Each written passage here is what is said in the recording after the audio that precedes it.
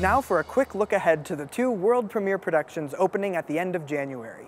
The first is Eventide, the companion piece to Plainsong, adapted by Eric Schmiedl from the novels by Kent Haruf. The city of Broomfield is already excited about this production because the mayor chose Eventide as his one book, one Broomfield selection. I went up to Broomfield to catch up with the mayor and author Kent Haruf before their program. Check it out. My name is Pat Quinn. I am the mayor of Broomfield, Colorado.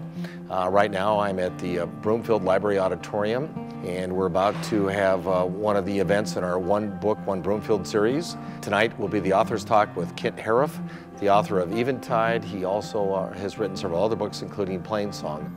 We're paying attention tonight to Eventide, which is the second in uh, a two book uh, examination of some people out in northeastern Colorado in the imaginary county of Holt County.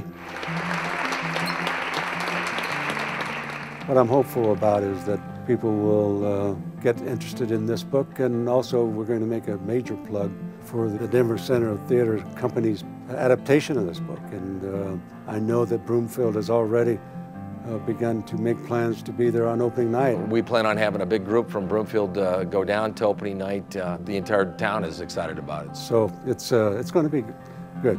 It's going to be a lot of fun.